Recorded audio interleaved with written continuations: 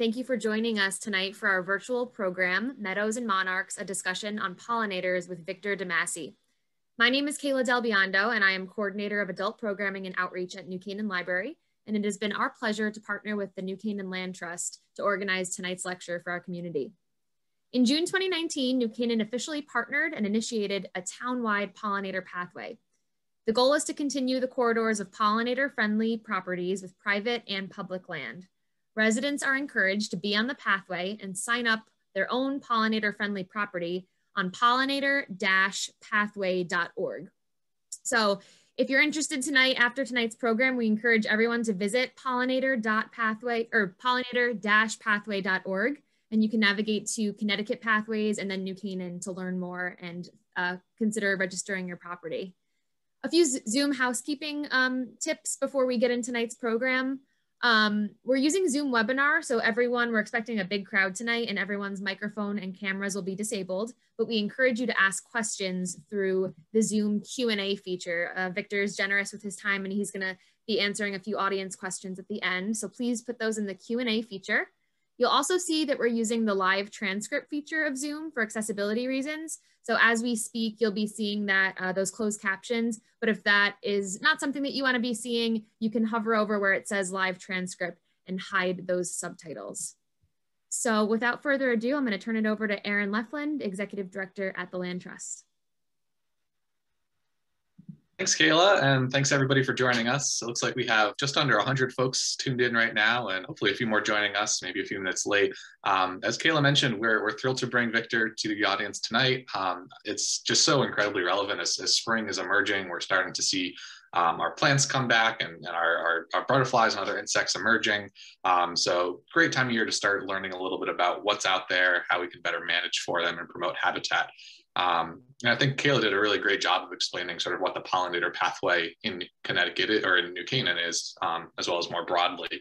Uh, the, the Land Trust is a really proud partner to be on the New Canaan pollinator pathway. Uh, we own just under 350 acres and have another 50 acres under conservation easement, and that's spread out across 65 or so different parcels around town. Um, so we're actually one of the largest private landowners in town, but as much land as we own, that only achieves so much. And part of what our mission is, is to sort of transfer our, our conservation ethic and our land stewardship ethic to private property, because that's the only way we can really maximize our impact across the entirety of New Canaan. So we'd encourage you to, to, to listen tonight, learn tonight, also use some of the resources that are available on the Pollinator Pathway website that Kayla mentioned. And if, if you're interested, register your property and, and help us grow the network. So with that, I'm really pleased to introduce Victor. Victor DeMasi is an extremely active member of the Pollinator Pathway. Uh, he was a wetlands conservation officer in his hometown of Redding for more than 20 years and is presently a curatorial affiliate at the Yale Peabody Museum of Natural History in New Haven. He busies himself with preserving open space in town and preserving butterflies at the museum. His fieldwork with butterflies contributed almost a thousand citations to the recently published Connecticut Butterfly Atlas, uh, his contributed articles to scientific publications and his uh, mark recapture studies with swallowtail butterflies was recently cited in the book Swallowtails of the Americas. Uh, during the pandemic, he's doing a pollinator survey for two meadows in Redding, Connecticut, and was recently featured in a natural history magazine with a sort of a special feature about the pollinator pathway program. Recently, butterfly trips with his spouse, Roanna, a photographer, have been, uh, they've been several times to the Amazon forest uh, in Guyana, Nicaragua, and do yearly studies in the Montane, California, uh, assessing the impacts of climate change on the fauna there. And so with that, I'm pleased to welcome Victor and take it away. Okay, thank you very much. That was uh, very flattering. And, um, you know, years ago, we had the International uh, Congress of Lepidoptery. Lepidoptery is the study of butterflies. Came to New Haven. We were hosting it and I was asked to uh, lead a uh, field trip. And, uh, you know, these were people from all over the world came for this event, and they had been to the most outstanding places you could imagine for butterflies. So, with some trepidation, I took them around for about uh, four or five hours to my favorite meadows in Redding. And uh, at the end of the day, when I was uh, returning them, I asked them, I said, "Well, well, what did you think of our, you know, fauna not being anything like the Amazon or anything, of course. And I was very surprised to hear, I never realized that Connecticut was so beautiful. And a number of other people said that in the, in the field trip. So uh, made me feel uh, good about our own little place and my backyard where we're going to visit today. Uh, now, uh, we're going to talk about pollinators along the way, a lot of insect stuff. So let's get started here. Here's the pollinator pathway logo, and uh, we are trying to increase the places where pollinators live. Uh, now, you know, in order for you to listen to me, I have to establish uh, some authority. So I'm going to try to do that here with this uh, guy here from uh, back in Old England when the real study of insects began, and uh, people would go out and catch the insects and make collections. And they were, well, just to remind you, remember the uh, song Yankee Doodle went to town riding on a pony? He stuck a feather in his hat, and what did he call it? Macaroni. Well, that's what these guys were macaronis out uh, and and incidentally women were also involved in this endeavor catching these insects and making collections uh, they were macaronis which compares them to the italians who were considered uh, you know quite a quite a wild bunch of people by the english who often traveled there for their vacations even back in the 1700s so fast forward and we have also an Italian American and uh, still collecting chasing butterflies around with the net. So this is the modern macaroni. And uh, with that, I hope that you uh, will listen to what I have to say with my authority. My spouse and I have been all over the world uh, adding specimens and studying butterflies. We've added about 30,000 specimens to the Yale Peabody Museum collection, which is one of the largest collections in the world. We've seen some fun things along the way. Here we're crossing the active volcano on Montserrat, which is uh, can be quite uh, detrimental to uh, aircraft. But after going to Africa, South America, all across North America, I have found my backyard to be just as good, just as much fun as any place. And that's very similar to your background, backyard in uh, New Canaan. And that's where we're going to take you today to the backyard.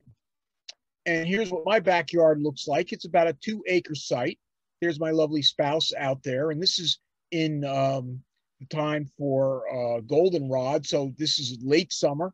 This place is really quite a, a nice, uh, typical Connecticut uh, field, you want to call it that.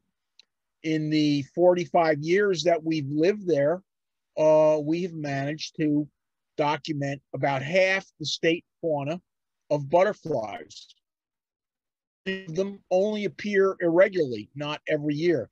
For instance, in the far up hand corner is the pipevine swallowtail, very rare butterfly in Connecticut.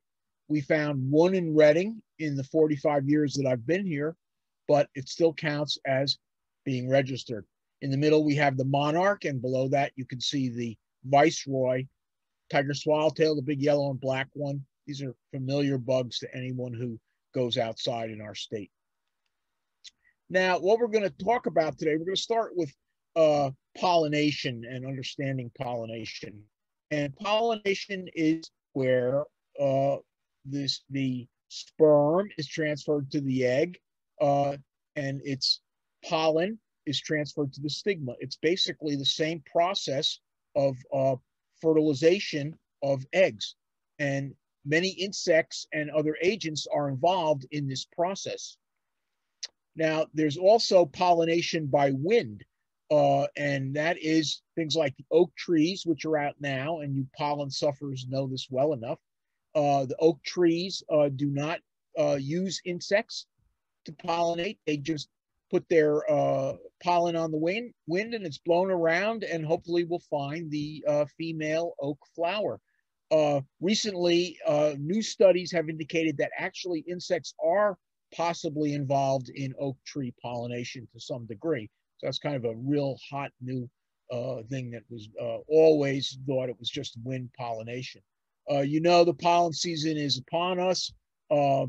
Uh, we get uh, pollen uh, from all over the place. This is typical pollen, heavy pollen years. in I leave my car out in Redding, and often it has a very thick you know, kind of sticky film of this uh, pollen that is blown around on the wind. Now, this is not to confuse with dispersal.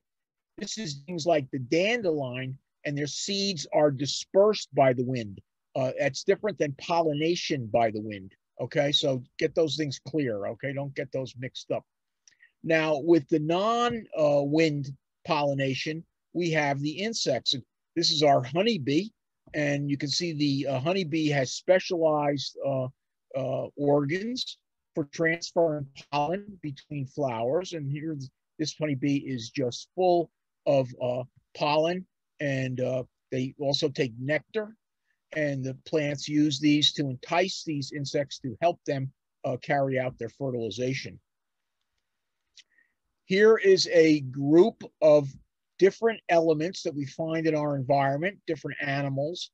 And the, the answer I'm looking for is which ones of these are pollinators? And that's something you can uh, talk about or think about for a minute. And I'm going to answer it for you. These are actually all pollinating agents in our environment. Uh, and uh, I can't see my, okay, uh, beetles, bats, mosquitoes. These are all things we found uh, this year when we were doing our pollinator survey in uh, Redding, Connecticut. So this is what pollination nation looks like. About 25% of our plants are pollinated by the wind, passive. They do not use insects or anything. And about 75% of our plants are um, you know, pollinated by some kind of agent, such as a bird, an insect. Mostly we think of insects, but there's a lot of other things going on as far as uh, pollinating agents. And uh, think about if you remove all these pollinating agents from our environment, you're going to lose 75% of the plants that we have uh, will eventually just wink out because they will not be reproducing. So the health of the pollinating nation is a very important fact to us and one that we seemingly ignored uh, to our own uh, demise up till recently. Uh, here we are at my house in Redding up on the side, and we got a wonderful patch of uh, red monarda bee balm going here. And years ago, uh, when I was a refugee from Stamford, when I was first getting married, a lot of us were coming up to places like Redding where the rents were or, or houses were a lot cheaper and Marilyn Sloper, a very well-known local uh, uh, real estate agent, took me around looking at houses all day where I was going to bring my new bride from California. And uh, she was getting quite exasperated with me. And finally, she said to me, Well, I have one house. It's a real dog, but it just might be what you'd like. And uh, I drove up the driveway to this Victorian period, 1874 house, and saw that field in the back. And I've been here ever since uh, found rare insects here and many, many uh, wonderful pollinating uh, experiences. Now, some of the pollinators uh, we'll run into are things like uh, hummingbirds, and they're favoring a lot of these red flowers like the monarda we were just looking at, and also um, lobelia, cardinal flower. Absolutely beautiful flower, once very common in Connecticut, but heavily picked uh, for display. So we're trying to bring uh, cardinal flowers back. Uh, if you're planting, you should definitely consider uh, getting some native cardinal flowers, and they're absolutely uh, uh, wonderful meadow plants. One of the butterflies that really favors, and I found this out in my studies, the black spicebush swallowtail, which comes later in the summer, really favors the red flowers such as the bee balm and the uh, cardinal flower. And uh, in my research, I found that as soon as uh, cardinal flower blossoms in, in late summer, all the all the uh, spicebush swallowtails go there to do the do the uh, find their nectar. Now, one of the things we're really promoting as part of our uh, pollinator effort are the milkweeds. And um, we'll talk about milkweeds in relationship to monarch butterflies a little later but milkweeds are great uh, sources for uh, pollinators. And if you have some milkweeds in your yard, you're going to find that bees and stuff and other pollinators are regularly uh, visiting it. Uh, couldn't make a better stab at adding some pollinating uh, flowers. We have been distributing, my daughter has been distributing four species of milkweeds that we have here in our meadow. And uh, if there's anybody in the audience who's interested, you can contact me. Uh, and uh, we are providing the seeds free or with a little uh, little stipend for uh, uh, mailing. But we have the common milkweed. We have the swamp milkweed, which we again are providing seeds for. This is not such a common uh, milkweed plant. We are providing uh, purple milkweed. Here it is. This is, we have some purple milkweeds, which are very rare in Connecticut, but we have a pretty good supply of the seeds. Uh, so if you're a, a really uh, fairly interested gardener and can handle something like this, uh, we can get you some purple milkweed seeds. You're not a real man or woman until you grow your own purple milkweed, as far as I'm concerned. Here is uh, here we are in the meadow now. Uh, with the pandemic last year, uh, we we still forged ahead with our field work. W wonderfully, there's no virus out in the uh, meadow, and this is a Sammy Riccio. She's a recent uh, college graduate and very fine naturalist, uh, specializing in bees. She's a beekeeper and stuff, and she helped out. She did the Highstead Arboretum uh, meadow in Redding, if any of you know that. Uh, they they are promoting wildflowers and, and wild plants. And this is a Sammy in the field. And here I am with my youngest, my young understudy, Lucas Curis, who is, uh, he's a 13 year old uh, boy who is really phenomenally interested in insects. So we uh, spent all summer, he, he, he uh, donate, he procured over 400 specimens for this collection of pollinators that we made. Uh, we, we got over 2,000 pollinating uh, insects that is going to the Yale Peabody Museum. Now, you know, I mean, people ask the obvious question, if you like pollinators so much, why are you murdering everyone you see? And uh, the point is, is that no one has ever really done just a study of a particular meadow to see how many pollinators are there over the season in Connecticut. They've done studies like that elsewhere, but I thought it was time for Connecticut to have one. So we uh, did a marvelous uh, pollinator study last season, and those specimens are in preparation right now, and we'll be going to state biologists and stuff for identification uh, shortly. One of the things we found uh, pollinating, we found hawk moths. These are really terrific you might see these moths in your garden. Uh, a lot of people think they're some kind of hummingbird. They are called hummingbird moths. There's five species in Connecticut.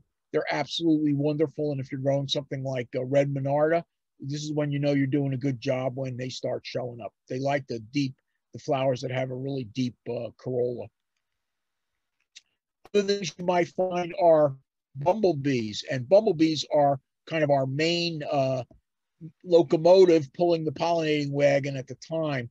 Uh, unfortunately, a number of bumblebees have disappeared from our state in the last uh, 20 or 30 years, but some of them, like the common bumblebee, are doing pretty well. And if you if you enhance your pollinating capacity, you're going to definitely get uh, the common bumblebee. This is the brown, uh, the rusty bumblebee, which I think is now extirpated from the state of Connecticut. We did not find it on our survey.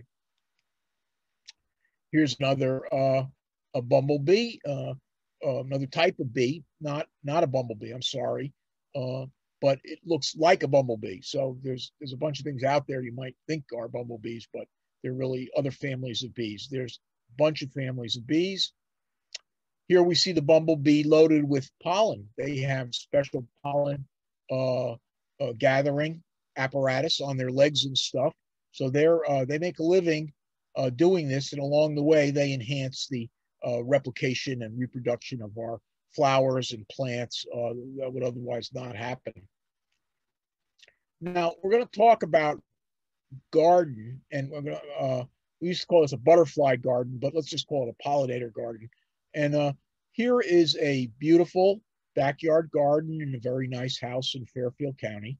And uh, you know, unfortunately, uh, I had a customer who was not this customer, but another customer who had the most beautiful garden. And when I was uh, working there, she uh, spent every day out in her garden, but she wanted to know why she didn't have any butterflies in her garden. And I, I looked in her garage, and uh, there it was on the shelf. Uh, you know, because she was basically drenching uh, the place with pesticides, and along with butterflies, she was really making it a non-place for all uh, pollinating insects. So we're going to talk really. Uh, butterfly gardening is basically a form of landscape management. First of all, we have to remember, we're going to go back to high school or grade school or wherever you learn this, and you probably forgot it. We're going to talk about how butterflies go through their life cycle. The first thing we have at the top is you have the um, eggs. The butterflies lay their eggs. The eggs of each butterfly are very distinctive. The butterfly eggs hatch into a uh, caterpillar, and the caterpillars feed on specific plants. Like the monarch butterflies, their caterpillars feed only on milkweed. They do not feed on anything else. Down below, you have the chrysalis, and uh, that's when the butterfly, the caterpillar is going to prepare to change into a butterfly. And on the left hand side, you have the adult butterfly whose main reason is to mate and lay eggs. And the butterfly comes out fully formed. People ask me, are butterflies, little ones, going to get big? No, they're not. They are that size. When they come out, they're not going to get any bigger. Their main thing is to reproduce. And things like the tiger swallowtail, the yellow and black, black tiger swallowtail, which I mark recapture study, I determined that they probably, it's rare for one to live longer than a week. These things are food for the birds, and the birds are out looking for them, especially the big swallowtails. They're a really nice food package. Now, let's take a look at how this goes. The eggs are uh, distinctive, and uh, you can tell the species of butterfly by its eggs and the way they lay their eggs. Here is a, a uh, pile of um, uh, question mark butterfly eggs, uh, really beautiful when they're photographed at this uh, scale. And uh, one of the real fun things about working at the Peabody, you know, being at the Peabody Museum over the years is what goes on there. One day they were cleaning off dinosaur bones uh, and uh, they took the sand and the stuff they scraped off and they put it under uh, a friend of mine, Larry Gall, who's the head of the department there, the entomology department, put it under an electron microscope and found eggs of Catocala moths, underwing moths 60 million years old. So it was just really an exciting moment to be there when something like that is happening. And, uh, you know, that is, I think that stands as the late, the longest ago known insect eggs. The previous to that, the longest known were like a few thousand years. So he made a big jump going uh, back to 60 million years to the uh, Cretaceous period. So uh, this caterpillar and uh, this is the caterpillar of the rare pipevine swallowtail. This swallowtail feeds, was the, the butterfly of this, uh, the uh, uh, uh, swallowtail, was once fairly common in Connecticut because the plant, Dutchman's pipe, that it feeds on was very popular in Victorian times as a porch uh, planting. They would plant it near porches and it would vine up the trellises and stuff, and the pipe vines would come along and feed on it. So, uh, you know, I, uh, I, I, got a bunch of plants and planted them in my uh, meadow, uh, and they were growing for about 10 years. And every year I was hoping some pipevine would show up and lay some eggs on it. And, uh, you know, it, I, every year I'd go out and I'd check and I'd check and I'd check. And then one day I was given a butterfly walk on my property, and this little brat, 10 years old, goes up and says, Look, there's over a hundred caterpillars and he and that's the first time and the only time i saw caterpillars and there was like a hundred tons of them we counted over a hundred and i was just so uh, burned that it took this little kid found them i had never been able to see them. So lepidoptery is not all fun. Some tough moments. Now here is the the monarch uh, it's coming out of its chrysalis. It has uh, gone through metamorphosis. And uh, you know I, i'll just tell you think about this. If you were sent from Mars or someplace like that, and you were told to study life on Earth Okay. Would you ever connect that a caterpillar would be related to a butterfly? They are such dissimilar things. Metamorphosis, where the caterpillar changes into the butterfly, is to me the most unbelievable process in the natural world. It beats anything. And uh, you know this this process, uh, you can actually see this by raising monarchs. You'll see them change uh, right before your eye. Uh, this was uh, that monarch was coming out of different. This is a tiger swallowtail chrysalis, and interestingly enough, these chrysalises can be colored to fit with their environment. It could be leaf green if it was stuck between a bunch of leaves. Here it's brown to uh, mimic the uh, stick. So uh, wonderful uh, uh, cryptic situations that these uh, butterflies can can do. And here it is, the adult butterfly. This is the giant swallowtail, a recent uh, arrival in our state. Uh, giant swallowtails is is an interesting aspect. you know, people ask me, is climate change getting rid of a lot of butterflies? Well, it's getting rid of some, but it's bringing others. So our fauna is to some degree stable between departures and arrivals. And this is a spectacular recent arrival. This is a large butterfly, larger than tiger, if you're familiar with that bug. And this goes all the way down into uh, South America. We've seen it commonly uh, when we were in the Amazon and in the mountains in Ecuador and stuff. And this butterfly what it does, it feeds on a plant called uh, prickly ash. And the prickly ash, uh, it, it, will not, the caterpillars will not eat anything but prickly ash. Now, prickly ash is a plant that is very sensitive to frost uh, damage. And the in order to survive in Connecticut, this butterfly comes out in the spring, lays eggs, they develop into adults in like July. Those ones lay eggs again and they develop into adults by September. And then they will become chrysalises and spend the winter as chrysalises. Now, what has happened in recent years, because we have much later frosts, the prickly ash stays turgid, stays green until late in the season. As soon as you have a frost, prickly ash just turns to mush and, and just droops. So the caterpillars will starve to death. So these caterpillars that need two uh, rounds of life cycle are now hanging out in Connecticut because they're getting a very late um, uh, frosts. If we have a typical frost or the frost like we used to have in late September, early October, it'll wipe out the food plant and uh, this butterfly will again disappear from Connecticut.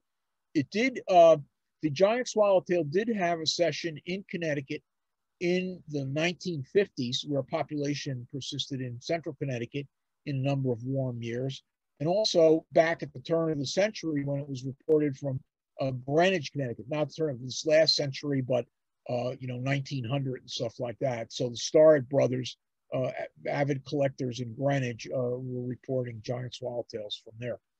So really interesting if you get to see one. I have not seen one in the state yet, so I'm really jealous of the people that have seen them. Uh, so here we are. Uh, we're in French Guiana, going into the Amazon, and one of the things that makes the Amazon such a great place for butterflies is that there are many, many different species of plants. The diversity is overwhelming. In fact, surveys they've done in this area of French Guiana they could not find the same species of tree twice on an acre of land. Every time, I mean, the, the chance of finding the same tree, species of tree, you have to look over a, a broad area. Think of that as a comparison to our forest here. You take a walk and an acre of land has almost all birch or birch and maple and stuff like that. So the diversity is tremendous. And since each caterpillar favors different food plants, okay, you're going to get a great diversity of, uh, of uh, butterflies there. And, you know, this is where uh, butterfly gardeners and regular gardeners part company. I uh, go out in my field and I see this on a plant and I'm looking to see what caterpillars feeding on this and I'm all excited that I got a new find. Uh, another person uh, goes out and they're, uh, let's say here, went the wrong way. Oh, Can I go back? How do I go back? No, no word here. Okay. Uh, let me see. Wanted to go back. I missed it. Using your keyboard arrows, Victor? Yeah, I see it. I see it. Hold on. I got it. I never did this before. Excellent. No worries. Okay. okay. Uh, so anyway, I'm excited when I find, uh, you know, this because I got something new feeding on it. I'm not reaching for my, uh, you know, roundup or anything like that. So let's see, uh, let's study a little more about the butterfly biology because this is an important aspect. Here's a here's a butterfly. You might think this is the cabbage white that you see uh, in your garden eating your broccoli and uh, other members of the uh, cabbage family.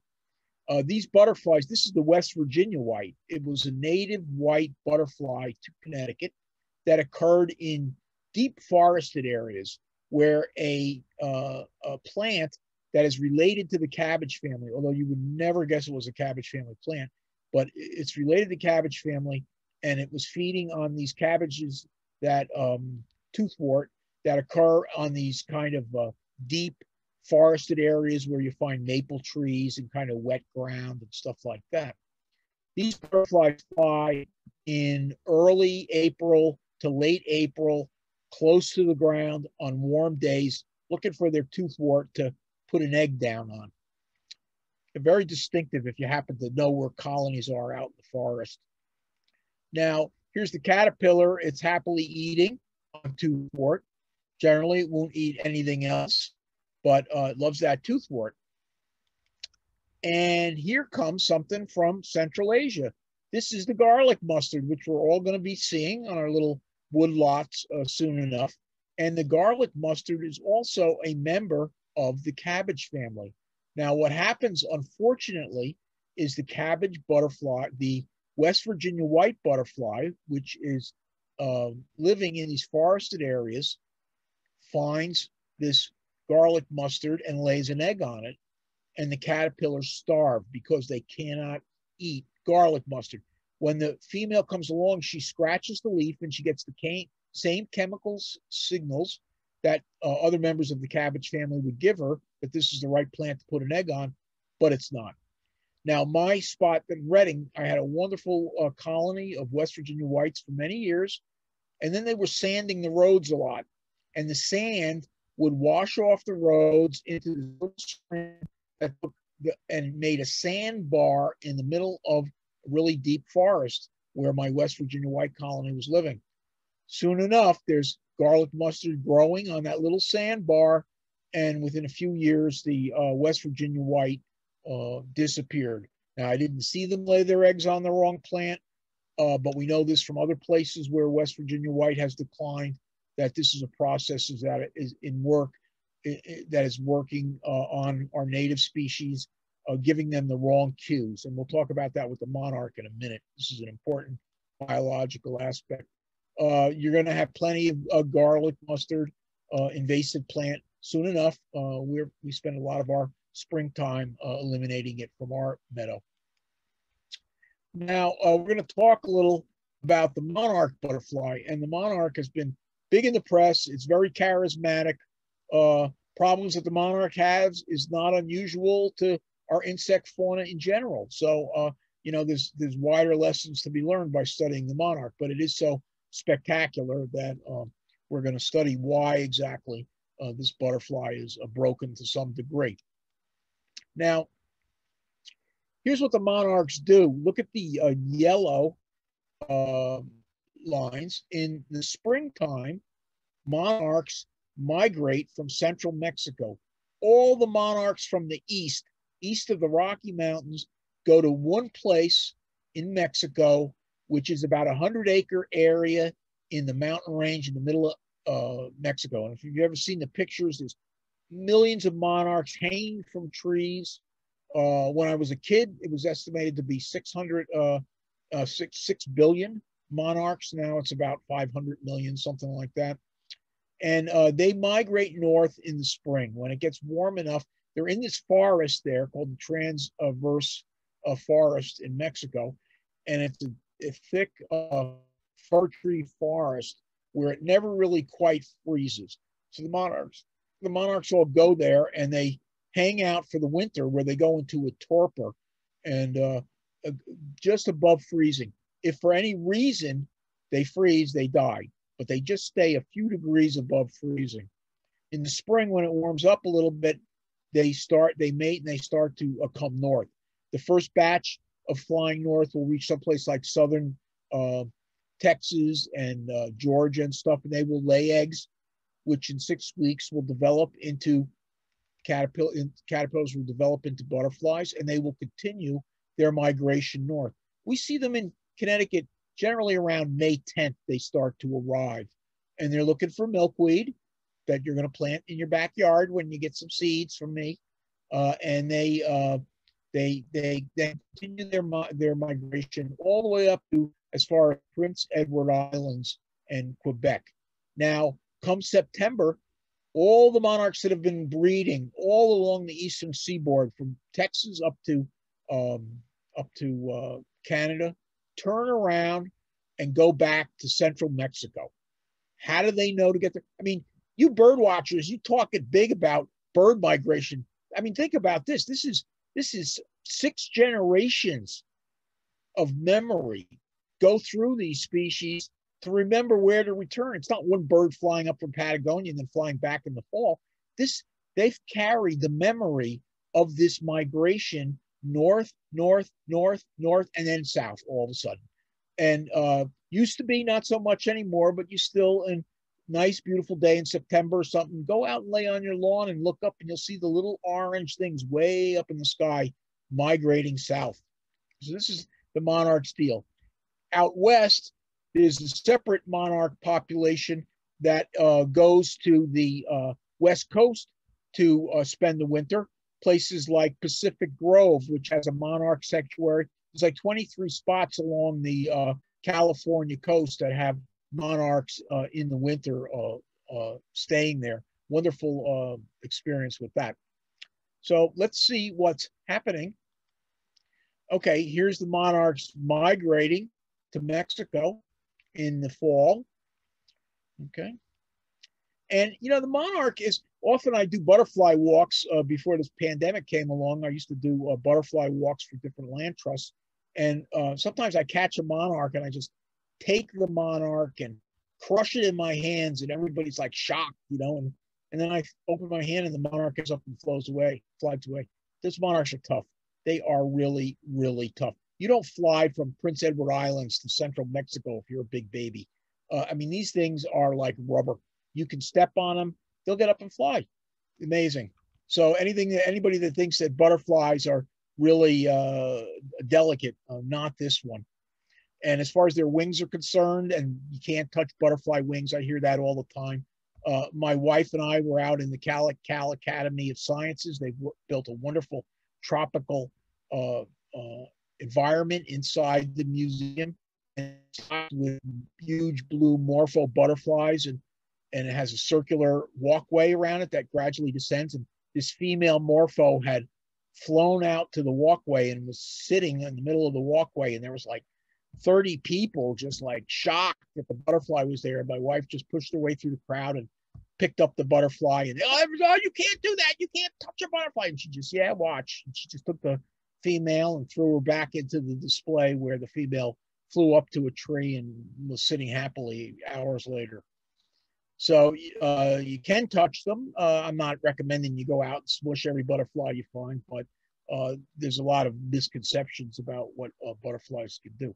Now, here is the monarch caterpillar. It's a very obvious caterpillar. And uh, these things, when they're full grown, going around on milkweeds, which they only feed on milkweeds, they are really poisonous.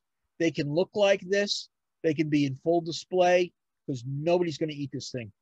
Birds that have been fed monarch adults or monarch caterpillars get very sick and vomit and will never touch one again. Why? in the milkweeds, there's a very poisonous uh, uh, substance called pyrazidine alkaloid. It was used in colonial times as a heart treatment. It's a very strong, uh, you know, folk medicine, poison. Uh, you eat enough of it, it's going to kill you. Uh, that much. And these caterpillars, and they sequester they take that poison and make it part of their own tissue. So they uh, they get protection from predators such as birds that would uh, eat them, have them for dinner. And here is one of their favorite milkweeds, the butterfly. Up oh, my but my I'm sorry, my internet sounds like it's unstable. I'm hoping you guys aren't going to lose me. Um, so I have here, uh, this is butterfly weed, and uh, this is uh, Asclepias tuberosa, a real favorite of the monarch uh, caterpillars, but also the adults love this. Uh, and what we're going to talk about is, uh, oh, I got to do my thing here. Hold on. I learned how to do this. Okay, so now we're going to talk a little about uh, what is some of the problems harshing monarch life. Okay, here is a favorite uh, in the milkweed family, butterfly weed. Uh, if you have these in your meadow, you're doing something right. Okay, and here from Central Asia is another member of the milkweed family that arrived in the United States some years ago and has spread very rapidly. This is called black swallowwort. If you break the leaves, you get the same little white milk that you uh, get when you break the leaves on a monarch, uh, on a, a milkweed. That hence the name milkweed, you know. Okay, here's what this plant looks like. It becomes a terrible vine that chokes out meadows and stuff. Uh, I saw the first one in our meadow in 1983. I was all excited, loved to see a new plant. And within about two years, uh, it had become something like this, almost a pure stand of black swallowwort. Uh, this is a problem for the monarch butterfly because the monarch, like the uh, West Virginia white, comes along, scrapes the leaf, gets the wrong chemical signal, and puts an egg on it uh, the caterpillars hatch out and they starve to death because they can't eat this plant. About 20%, studies done at the University of Rhode Island indicate that about 20% of eggs are laid when black swallowwort is around in force. Uh, about 20% of the eggs are laid mistakenly on black swallowwort. So this is a long-term, uh, one of the long-term problems for our monarch populations. Now, uh, University of Rhode Island is has a great program in trying to control these invasive plants. And here uh, next to me is uh, Lisa Tewksbury, who runs the invasive plant uh, biocontrol. What is a biocontrol? A biocontrol is generally insects, but maybe something else that can naturally control uh, an invasive plant such as black swallowwort. Here's Lisa with her helper, Susan Robinson from the Redding Conservation Commission, and me uh, Victor DeMasi. And here we have some really nice, fresh. You notice not, nothing is eating this plant. One of the big problems that we have with black swallowwort. So Lisa has uh, introduced a moth. They found a moth. They went to central Ukraine and found a moth that eats this plant in its native range, and they brought it to the United States and we're doing controlled releases. They tried it on many different plants. Doesn't eat anything but black swallowwort, which is exactly what we want it to be eaten. And here's the caterpillar. And you can see this leaf stem is completely denuded now. I mean, go back to, uh, let's see here. Um, I'm just going to go back and look at this real quick. There, look at that perfect leaf, right? Here is what that caterpillar does to that thing when it gets going. Uh, the netting you see is this tent that the uh, caterpillars, we released uh, 25 males and 25 female uh, Hypena moths, and they laid eggs, and these caterpillars uh, developed from the uh, from the eggs, and they ate this stuff. So I don't know what this is. I'm sorry. Okay, this is the moth, Hypena opulenta. Very, very poorly known uh, moth uh, there's only three of them in the British Museum, so that's the name. British Museum has everything. So shows you how poorly this uh, species is known, but it just loves black swallowworts. Now, uh, Lisa at the University of Rhode Island is uh, um, is she's rearing these things in mass and releasing them around our meadows to try to control black swallowwort. Okay, I'm gonna just stop for one second and have a drink of water.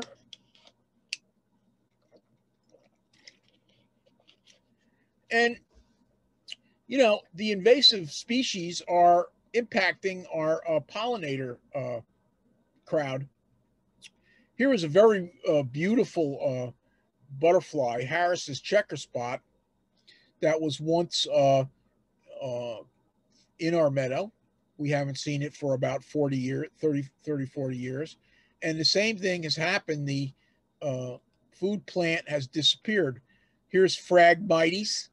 This is, uh, we call this the DOT flower. Wherever the DOT makes a, Department of Transportation makes a small disturbance along the road, Phragmites gets in and it will eventually form a choking mass in a wetland.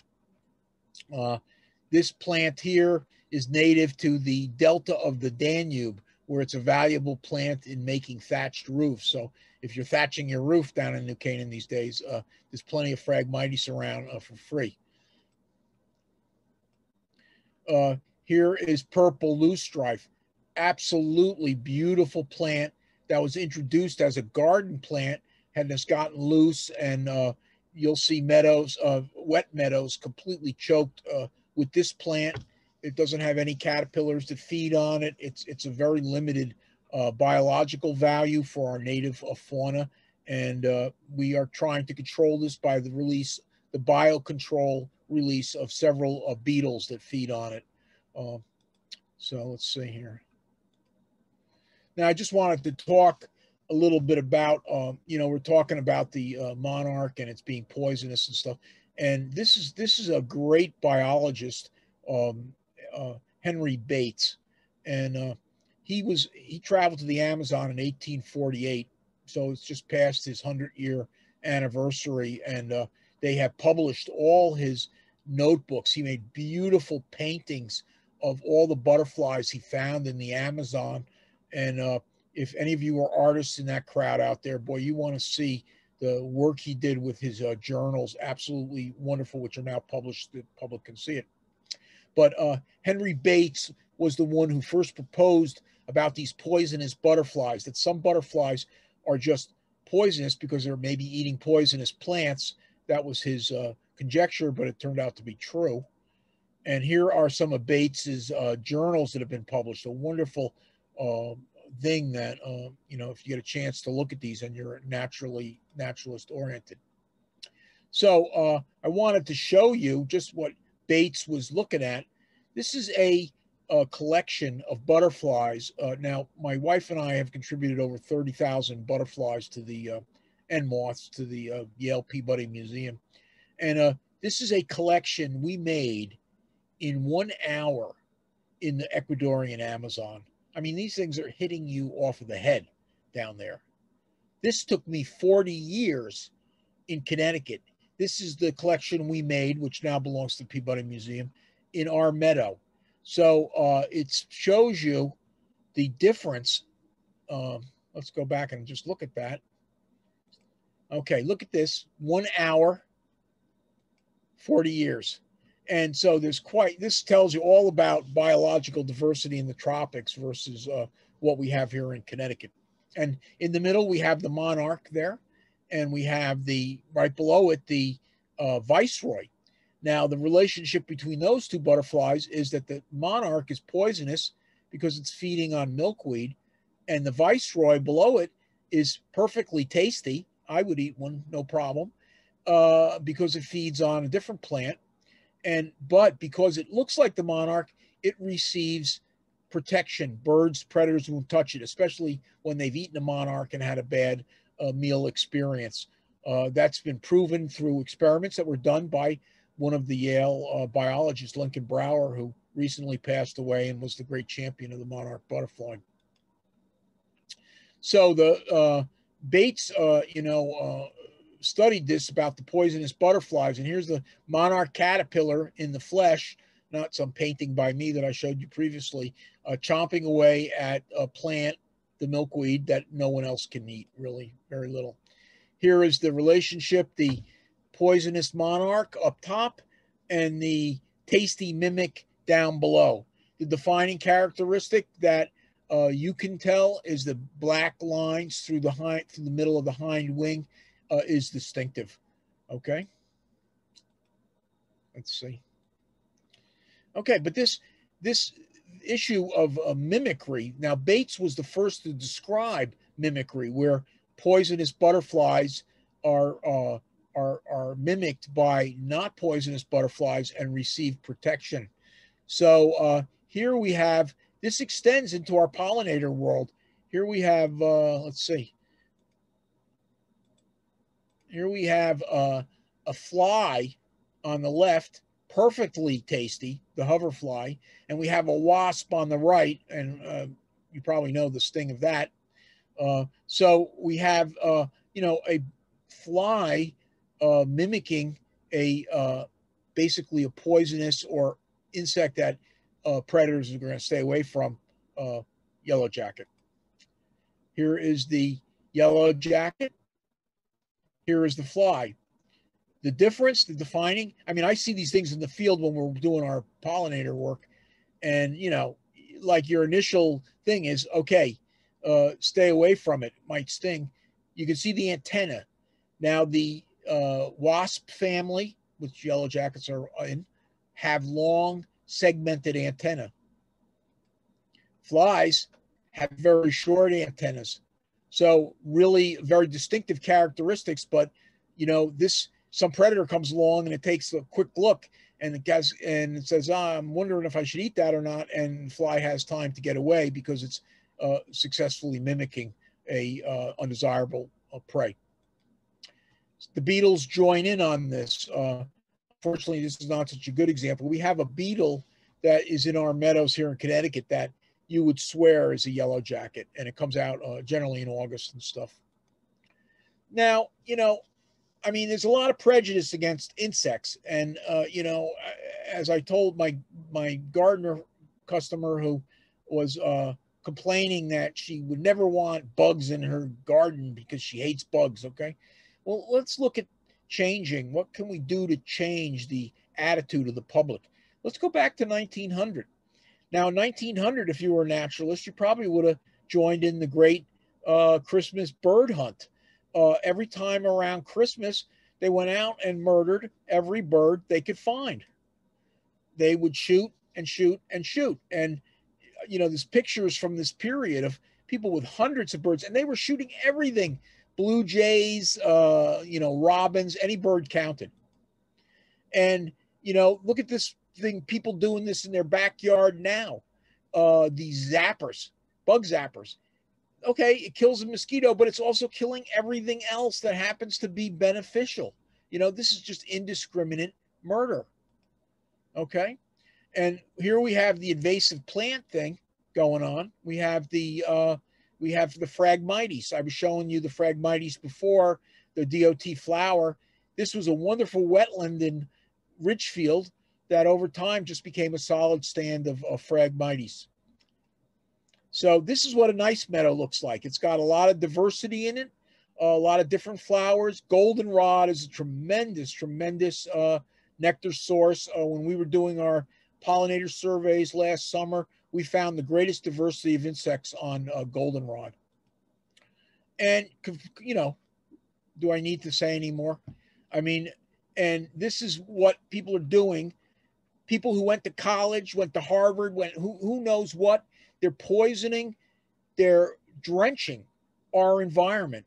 I mean, and not only if, you know, is this a problem with the pollinating insects and uh, the eventual flora, what's going to happen to our flora, but, you know, uh, look what's happening to our children and stuff with the exposure to this uh, type of stuff. We had in Redding, we had to have ball fields where we had to have absolutely green fields, which involved chemicals. So as a conservation commissioner, I, I said, well, what, bring me the list of your chemicals. And the chemical that they were going to use, and they did use on the ball fields, was 2,4,5-D, which is the defoilant called Agent Orange that was used in Vietnam. They said that it was going to be used properly by licensed operators. Well, within a year of the deployment of the pesticide, the kids went out and played on the fields because they didn't put the uh, signs up to stay off the fields. And some dogs had got the heebie jeebies and real problems from pesticide direct pesticide exposure. So for a bunch of educated people in connecticut there's really some stupid things being done.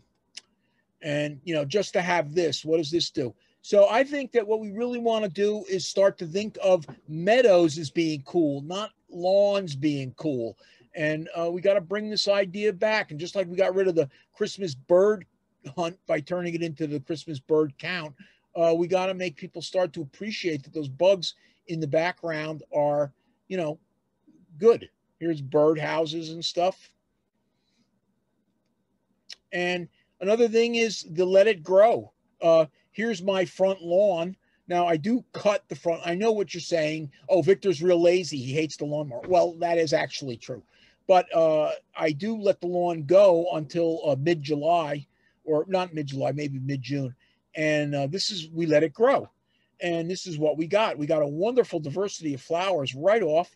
Been doing this for some years, and uh, when we did our pollinator survey in our meadow, we were finding the biggest diversity in my front lawn because of these these uh, flowers. So uh, that was a great surprise to us at the time. And I'm trying to enhance my meadow by uh, adding bee houses. This is a bee house, just like I have bird houses for keep more birds around. Here's a bee house. Now, what does a bee house do? Lots of solitary bees, which are our most probably our most important pollinators, the mason bees and the like, use these little tubes to lay their, you know, paralyzed larvae and lay them in there. And uh, so I'm trying to enhance the, uh, you know, the um, uh, breeding areas for solitary bees.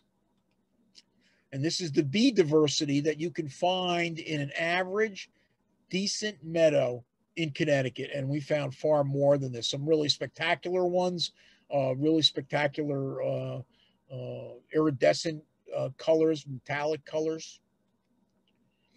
Now I'm just going to run through a little bit of my art before I close out here.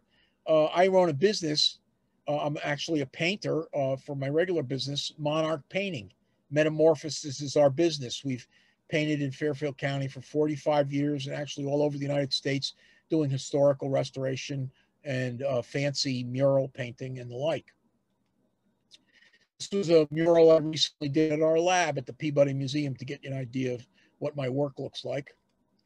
And here I did, this is uh, the Monarch, one of my favorite topics because my name of my company is Monarch Painting.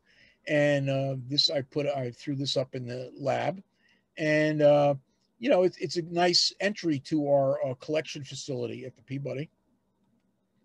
I teach workshops for children this was at the Ridgefield Center where the children actually made selfies of themselves. These kids have these self, you know, these phones. I'm a ancient boomer, so I grew up without them, but uh, they, I showed them how to, uh, we took selfies and then we made silhouettes of ourselves and silhouettes of my dachshund, uh, Emma. And uh, this is what we did. And the newspaper in Ridgefield came to interview us. And the, by the end of the week of uh, painting this, the children knew all about the life cycle of the monarch and they did all the talking to the newspaper. I didn't have to say a word. And let me see, I think I have one or two more things. Oh, here, uh, just want to say that, uh, okay, gonna close here. No, right. Okay. Oh, here's here's one of the mimics of the uh, of the uh, wasps. This is a tremendous beetle. Okay. Okay, I got my lost my way here. Thank you, Victor, for your presentation. Good night.